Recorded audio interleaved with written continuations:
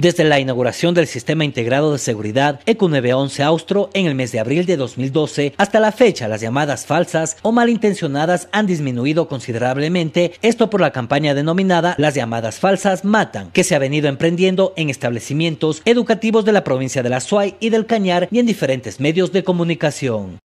Ha ido disminuyendo, no como hubiéramos pensado. Empezamos de que cada 10, 7 u 8 eran falsas. Hoy estamos de cada 10, 5, 6. Ha bajado, disminuido, sí. No debería haber. No debería haber ni una llamada eh, falsa.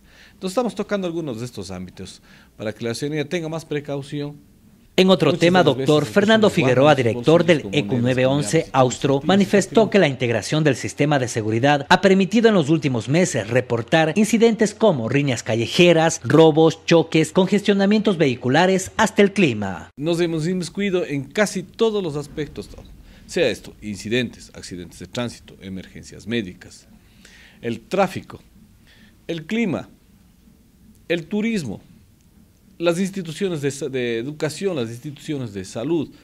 Y próximamente también incursionaremos en el transporte porque es, al ser eh, uno de los municipios y hacer eh, un, sistema que, que, tiene que tener seguridad, entraremos en el tranvía también. Entonces vamos a incursionar en todo esto. No estamos dejando ningún cabo suelto a más de la delincuencia, a más de los incidentes. Nosotros seguiremos trabajando. Mauricio Lupercio, Telediario.